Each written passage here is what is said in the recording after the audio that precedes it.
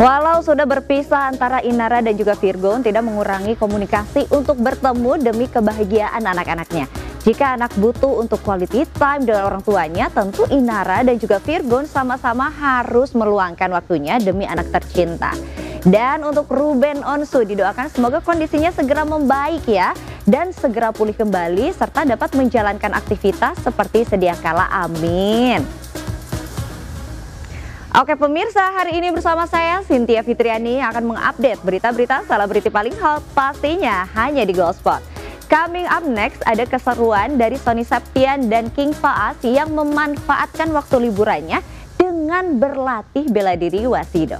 Berita selengkapnya after this break tetap di Gospot. Zaman sekarang memang perlu ya adanya mawas diri dengan berlatih seni bela diri. Tak hanya itu aja nih, Seni bela diri juga bisa sebagai bentuk olahraga fisik selain dari nge-gym ataupun olahraga yang lainnya. Pokoknya tetap semangat untuk King Faas terus kembangkan bakatnya di bela diri Wasido ya. Coming up next, Jessica Iskandar lakukan program hamil anak ketiga nih dengan cara suntik kesuburan. Berita selengkapnya after this break tetap di Gospot.